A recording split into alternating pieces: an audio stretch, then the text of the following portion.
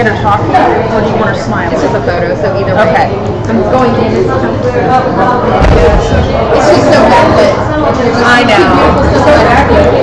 I know. We need a Drake, I guess, huh? Yeah. Well, trying the Drake wasn't in the WJCT budget. Exactly. Actually, they do have those, uh, you There we know, go. Step and repeats. yeah, they have those. We just didn't bring them. Is there any particular speaker or session? You're getting the feed from them? It's totally open to what you want. I think, I think we'll talk about some of. You can give me a monitor and I can. And so we can talk a little bit about that too. Sure. Which would be great. Sure. Thank you. Those are cool. Yeah, they last for about an hour. Then I'm like done. Yeah, they should. I do, I do. I actually packed three pairs. Oh. And this is so Wow. I just wish that the, the more I let's hear have about that. it. Perfect. Great, now I can, be open, did you? can make it uh, easier for me to switch. One of our genius girl, you know, we have this seven-year-old genius girl who always espouses, she starts us something. We have musical performance, and it's gorgeous. Tina Wilson. She's sister thinks all the Oh, okay. This is what I That's what you're sending to them? Yeah. Okay. Like, that's what it is. That's weird. Kind of abnormal for them to, in cherry I was music. that last night at One Ocean. It was Especially, Nice. It especially got this banged story. out. I'm telling you, Just went to me, but everyone seemed to be, John was there. Yeah, both of you stories have that. Amidst the buzzing, the buzzing. Yes. The lot That was buzzing. fun. We were, we were covering the FPA at my house last night. Oh, the FSA, I should say. Yeah, it's not the FSA. So, I had a very nervous eight-year-old. But I found, I read this morning, all the thoroughbreders in the state. pretty good. They're still gonna get passed. Because the legislature decided the testing system is, is controversial now. It is so messed up that they're not gonna fail all the thoroughbreders because too many people are outraged. So as I was driving her to school this morning for the day two, Said, she's like, I'm so nervous, mommy. I'm like, don't worry, Kelly, you're gonna pass, but even if you fail, it's not a big deal. You're not gonna flunk third grade. So it's just gonna be like a place marker? They're just gonna disregard it. They're gonna disregard the test results, basically. Isn't that insane? I even put it in only in Florida, in the only in Florida. It's ridiculous. All right. We are two minutes out. I like your red. Yeah, it goes with the theme. Purpose, purpose. It's all about what's happening. Pressure. Two minutes.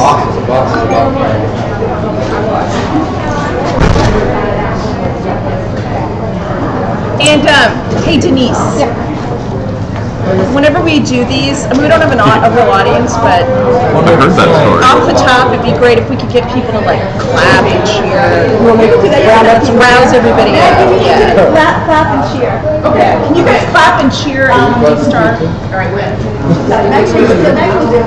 Hey, Professor Nicolau. great. We'll be up after this work. About nine thirty. No, you are. This is Maggie from Ernst and Young. Hi, how are you? Lovely to meet you. You too. Ready, ready to clap. I don't. I, I, it's very open. Angie, the one you Ask clap me is this. start, okay? Tell me all about your research. Everybody, you can't tell us. Very open-ended. Is Elise still on? Okay, not ready. Back back to Instagram.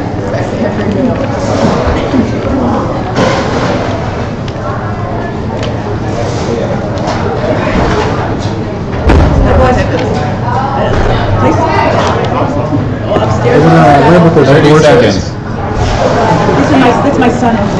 They're going to join us. Awesome. They're so excited. Like, you know, we're 25 and 26 years. So it's a true millennial Yes, yes. which we like. Yeah, that's great to get that generation. Ten seconds. Hope they give us advice. And they're good at it. Sean, are you ready to clap?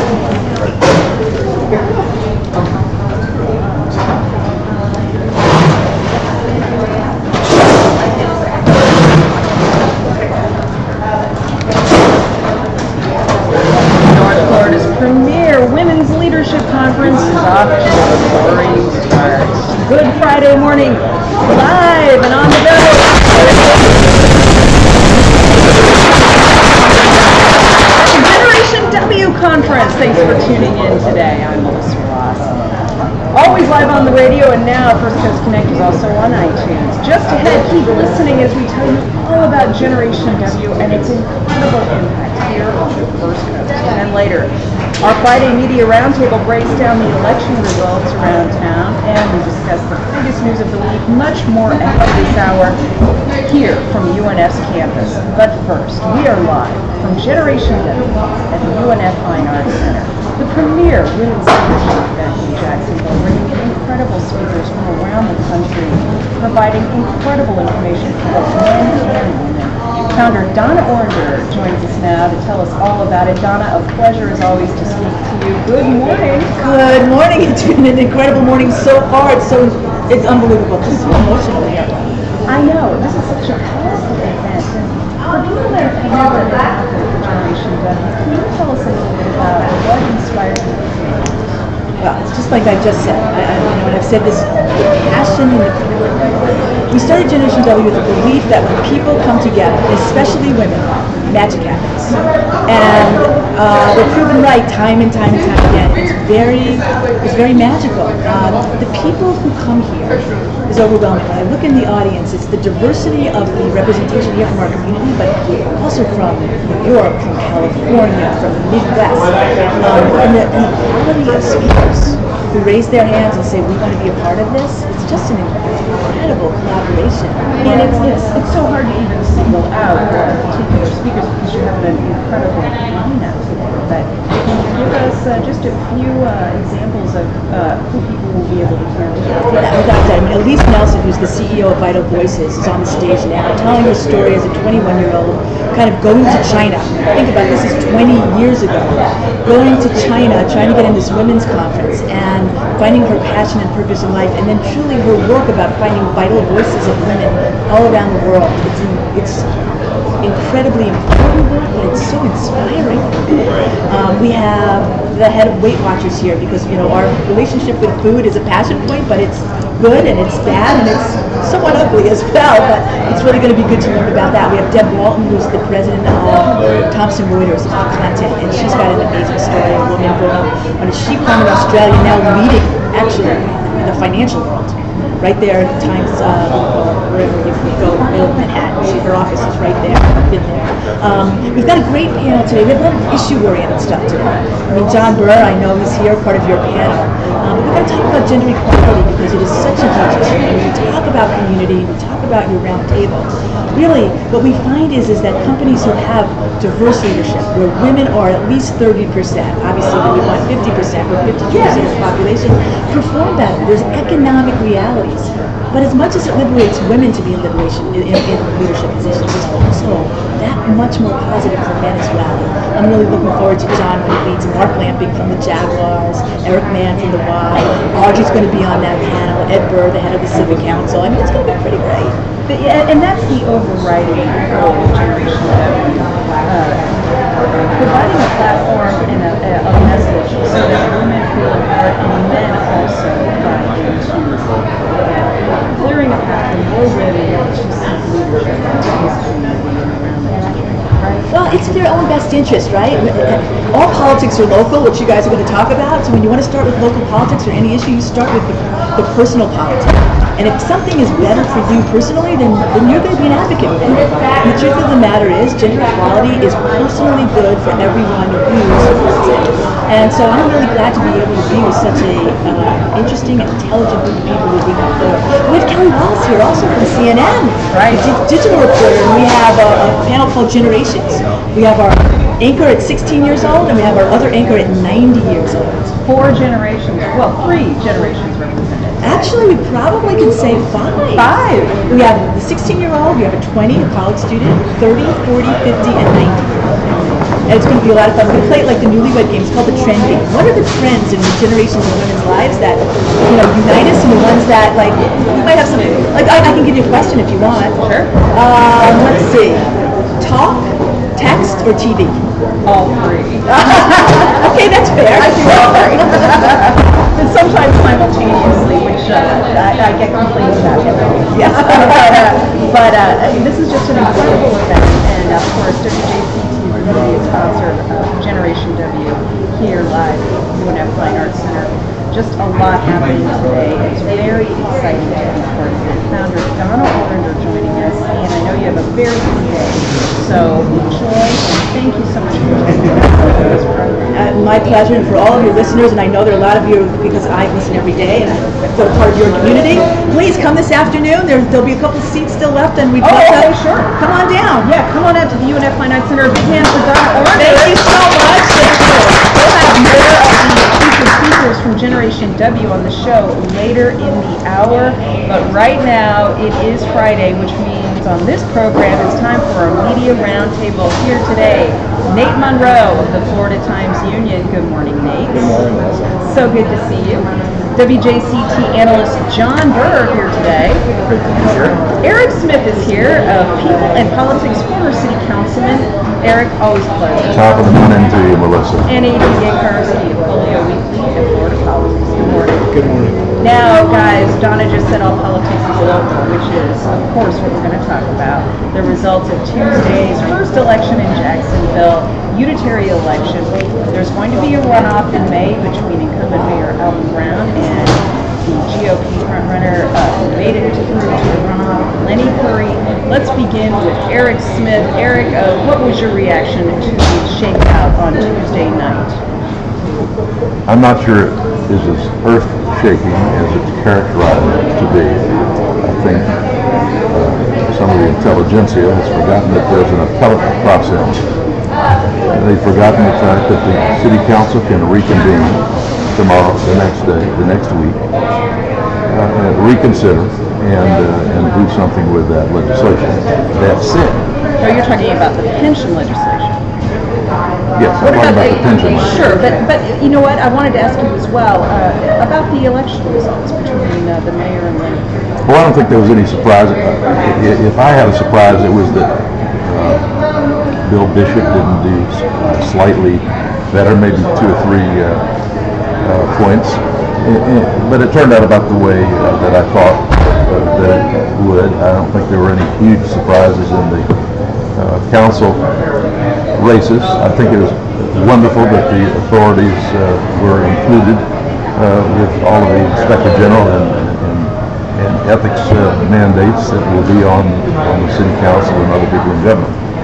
Nate Monroe, as Eric said, Bishop uh, had a strong really showing despite not having uh, money and infrastructure support of his party.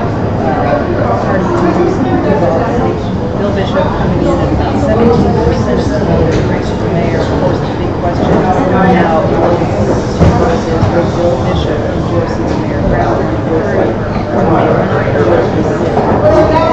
Sure, I, I think that Bill is a hard guy to read. I don't know those results, you know, we'll see. I, I would expect there's something soon.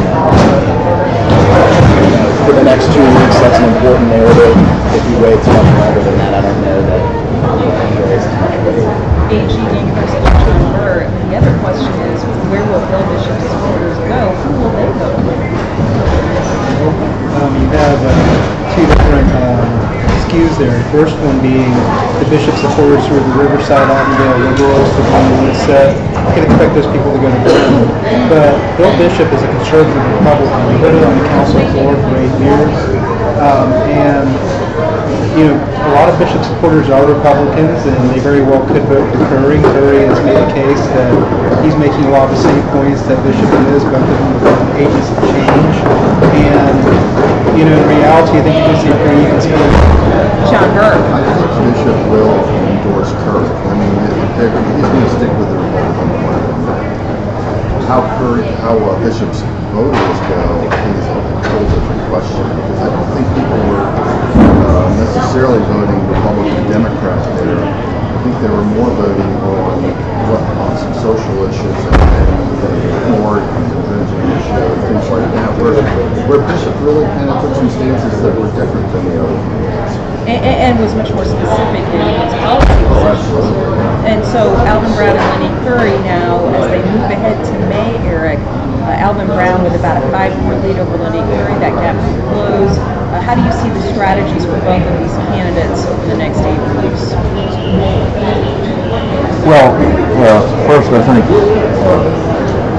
the mayor has to accept that uh, uh, blood is, blood is thicker than water, but elephants, Republicans are thicker than that. So it would be a major earthquake if Bishop went uh, with the Brown campaign. That said, uh, historically, candidates don't deliver uh, all, all their votes. I mean, it, it, it, it's not like Moses and the flock. It's, it's just not going to happen. And I, think they might split that vote fairly evenly. But If they split that vote evenly, that still gives an advantage to the incumbent Mayor it would, it would. Uh, but, but I think uh, the, the question is uh, whether uh, the mayor's strategists tell him to stay above the fray and stay uh, positive. Uh, the other side has got to have a sense of, of uh, desperation. They've already got a sense of entitlement. and, and, and How do you mean? My, my sense is they think they're entitled to have this, uh, their state party chairman as the mayor. And, and, and I, I think it's gonna be a very dirty thing. The question becomes whether it's dirty on both sides. And if you're just tuning in, First Coast Connect is live today the UNF Fine Arts Center for the full hour for the Generation W conference. We can't take your calls today, but we will keep to try to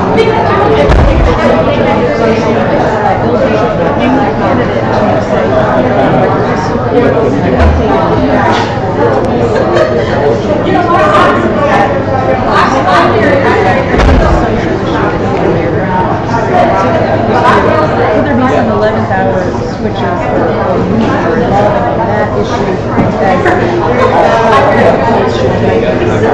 I, I think if the mayor is smart and he wants to get his liberal, white Democratic base back, he's going to evolve in that issue in some way. Uh, perhaps an executive order or something along those lines, something to bypass the, the council process on it might help. Uh, the mayor's got to present something to reach out to the bishop supporters besides the sentimental attachment to the 2011 election. Um, I wanted to take issue with something Eric said regarding the Republicans feeling entitled to the mayoralty. I don't think that's the case. I think Lenny Curry realizes he's in the wild. Um, he's been working hard for two years to get supporters, get big donors, all of those things. Um, you know, even now he's trying to get a street team together to get out the vote for the election in two months.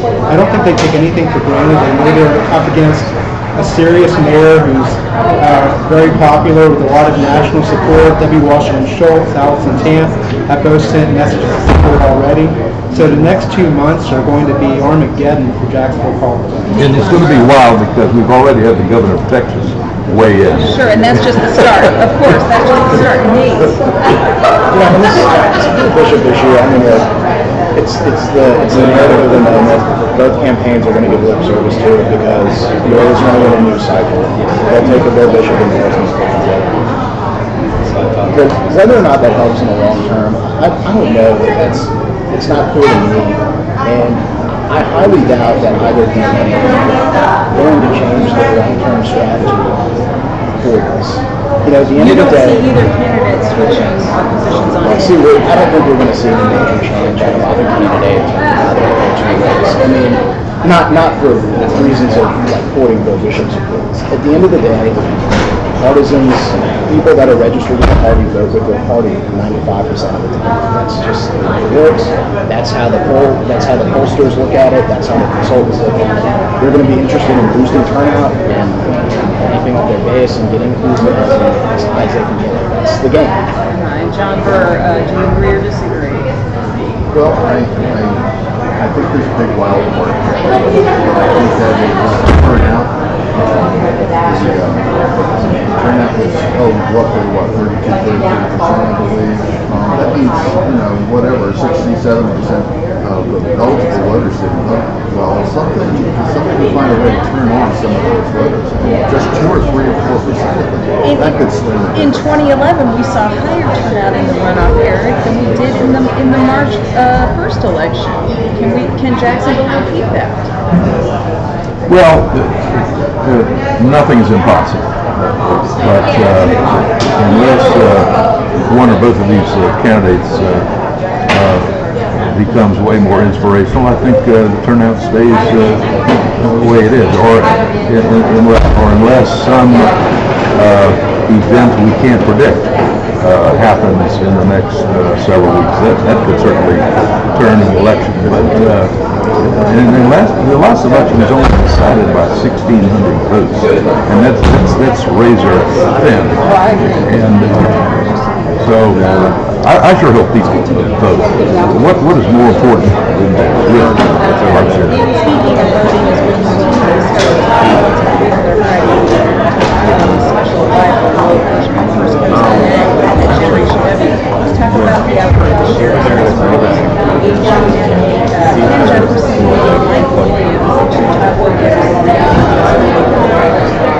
workers. Let's get your thoughts about that race.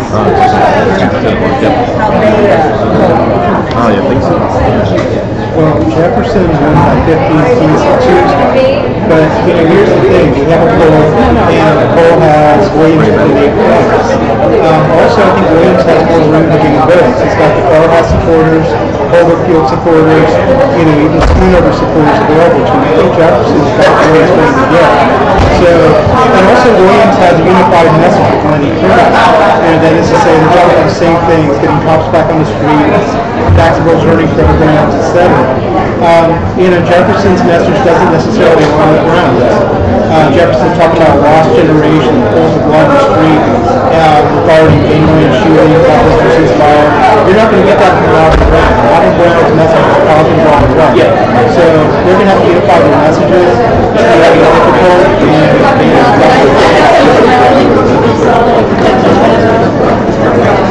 Ken Jefferson has strong recognition at.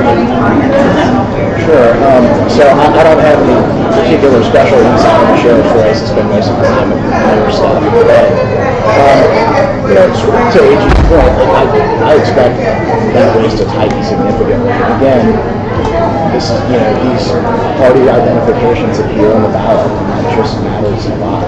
Um, name ID helps. Name ID helps big time and, and John, uh, what you just said about Mayor Brown and Ken Jefferson, do they need to coordinate their messaging in the same way that hopefully Mike Williams will be coordinating theirs?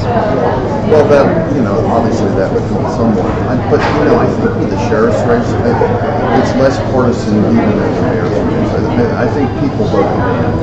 And that both candidates have a really good opportunity to define themselves, both sheriff's candidates. Sure. And I think, you know, whichever one defines themselves and what they would do best will win that race. And let's talk about, just for a minute, the racial politics of this Eric Smith. Let's assume that uh, Mayor Brown and Ken Jefferson are both victorious. That would be a, an historic racial breakthrough for the city of Jacksonville, the first time in history we would have an African-American mayor and sheriff at the same time. I'm not sure it would be a historic breakthrough. I, I think it would be interesting and, and important, but uh, I don't think any of the candidates is really talking about that or, or stressing that point. But back to the uh, messaging, uh, I think it's awfully difficult for uh, the mayor and Ken Jefferson to coordinate messages, and it's probably got more downside than it's got upside. Clearly, uh, Williams is the running mate to Lenny Curry. There's no question about that.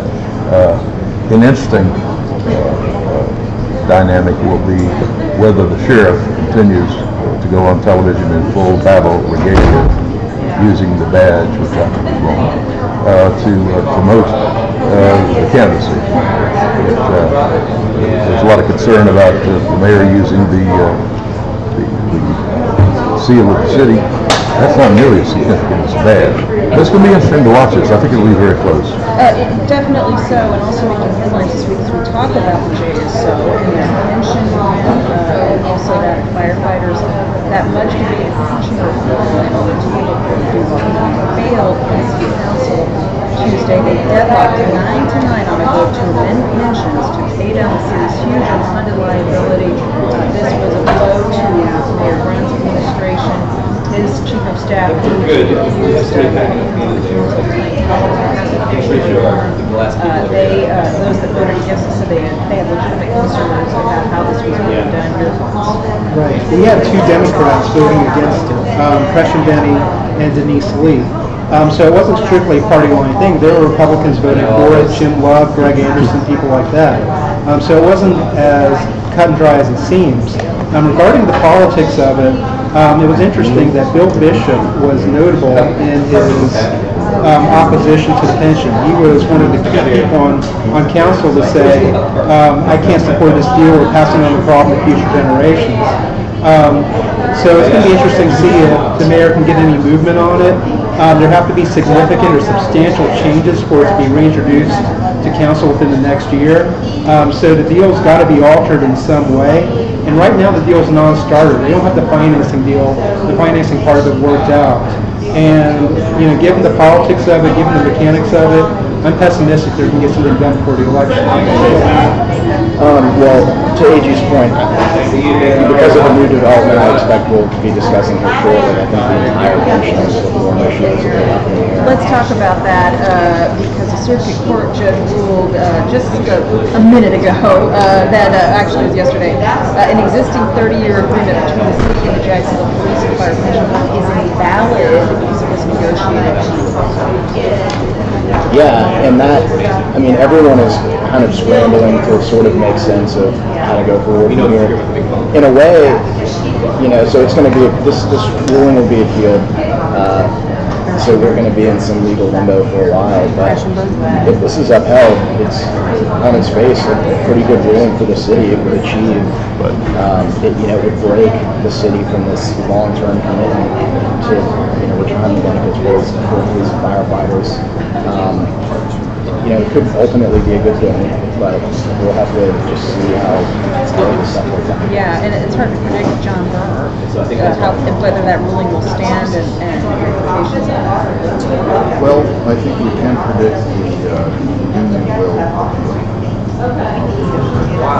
Beyond that, you're right. Uh, Although, you know, it's a second ruling on this uh, freedom of information question. It's going the same way, so, you know, council trust. You know, let's say, let's say the, uh, the ruling is upheld to the want to. Um, you know, the city, um, yeah, the city's in a little better position, but on the other hand, you know, they they don't want to alienate the police and fire from people. Uh, you know, there's always talk in the fire department because people leaving the fire department and it's tough for them to recruit, uh, new, new officers because of this pension, uh, thing. And, you know, so it's a very delicate, uh, long-range delicate, uh, situation. Eric Smith, what are your thoughts? Well, it's interesting to talk about the 30-year agreement because I think it's down to a 14-year agreement now, am I right? Yeah, fifteen years of it. Don't hesitate to strike me down if I'm wrong, but now it's a 14-year agreement. A- And uh, I, I, I think uh, a few months down the road, regardless of of the ruling, uh, something will get done, but it won't get done now because it's part of a political strategy. Don't let the mayor look like a leader. It's better that he looked like he tried, he failed, he tried, he failed. Uh, And I think that's, that's that's the politics. See, of- of- I, I disagree with this. I mean, I, you keep bringing up that it makes the mayor look like a leader, or doesn't make the mayor look like a leader, but, you know, the deal is, the leadership would be getting the deal through. I don't think that the Republicans are obstructing it just for the sake of obstructing it. I think they have serious problems with the deal. Um, I listened to it for four hours the other night. Um, they went point by point, reiterated, reiterated their issues with the deal. So, you know, while it looks political on the surface, while there's a political element to it, maybe there's some issue with the deal also that, you know, Yarborough, Bishop, all these people have material points against. I think, I'm not gonna debate the, whether or not it's political. An important point to keep in mind here is that reforming the benefits, that is one piece of this. It's a good piece, but it's not, it's not the determinant. Figuring out how to more quickly pay down the city's you know, one point six billion dollar debt for the fire pension fund. Nothing takes effect until that's figured out. That has never even been close to being resolved. The council and the mayor are still totally sideways on how that gets done. Even if, minus the court ruling on Wednesday night, the council had approved this deal, it doesn't take effect until that funding mechanism is figured out. I, I think Nate is absolutely on point, and, and, and, and- and I'm not really cross-purposes with, with AG, because there are many honorable people at the council on, in both parties that just had problems with it. If I was on the council, I would have some serious reservations about making this deal with the JEA. There's too many unanswered, open-ended, uh, questions, so I'd be asking those kind of questions. John? Well, I think, you know, the, the whole pension uh, thing is has been completely thrown up in the air. I, um, I think actually the, the, uh, the judge's ruling yesterday kind of takes the heat off mayor uh, for not finding, quote, not finding agreement. Because, uh, everybody's, you know, just like, geez, where do we go now? Where do we go now? That, that becomes the issue. The issue is not, gee, the um, thanks to this judge, is good lord, where do we go now? yeah, exactly. And where we go now is our finally uh, weekly roundup of the strange, bizarre, just plain ridiculous ran across the this week. Luckily, there's never a shortage of material. Here it is for you right now. Only in Florida, critters, bath salts, and third graders who will not flunk out make the cut today because only in Florida do a couple of drunk guys go joyriding with a wounded owl and capture it all on film as well. But state wildlife officials aren't laughing according to the Florida Fish and Wildlife Commission. Two men face charges for keeping a great horned owl captive. They uploaded the video to Facebook a couple weeks ago. It shows them driving around with the owl, which appeared to be dazed or stunned. The man who claims to have shot the video wrote on his Facebook page that they found the owl while driving around West Palm Beach and wanted to try it out.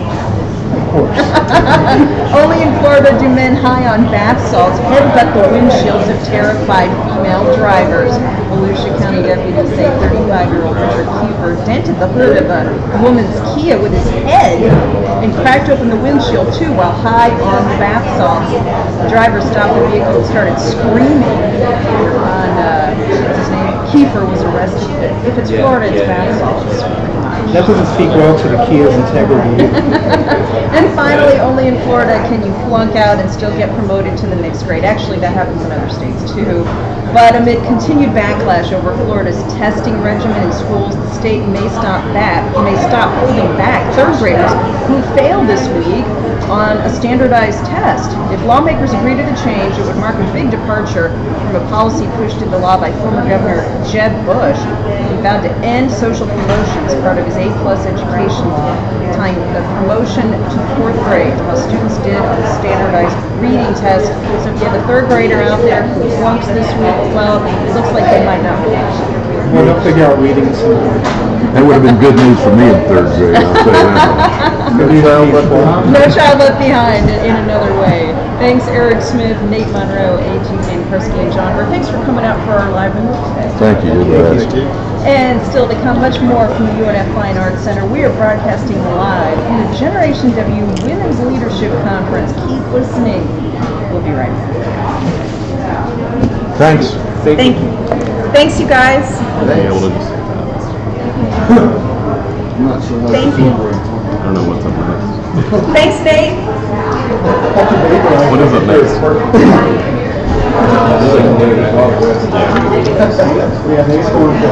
I'm gonna try to record it, but I think my battery's gonna die. Or Not yet. I don't know if there's anywhere where there's Nice to meet you. K.C. Nicolaou. Chemistry, Very good. Thank you. Are you speaking to? Yeah, I'm the, the host. I'm sorry? I'm the host. Uh, Oh, I'm sorry. Do you have a pen? Anybody got a, anybody got a pen? I'm sorry, I did not realize that. I need your name and title. Speak up and, right, yeah, write it down. Oh yeah. Four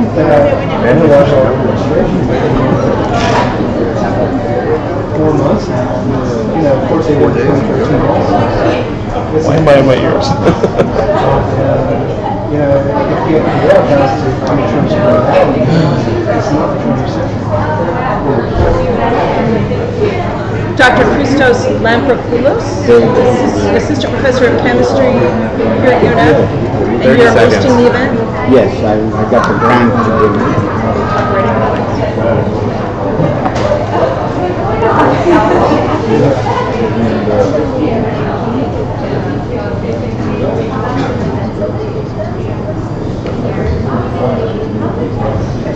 Okay, ten seconds. And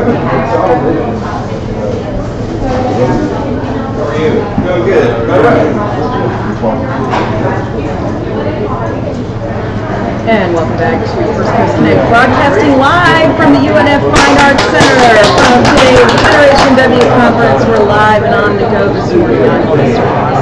There is always so much happening at the University of. Incredible research always going on, and we want to share some of it with you right now. Dr. K.C. Nicolaou, the Harry C. and Olga K. Wiess Professor of Chemistry at Rice University, will speak tonight here at UNF. His research group first synthesized the widely used anti- anti-cancer Next, and a number of other drugs for treatment of cancers. Dr. Professor of Chemistry at.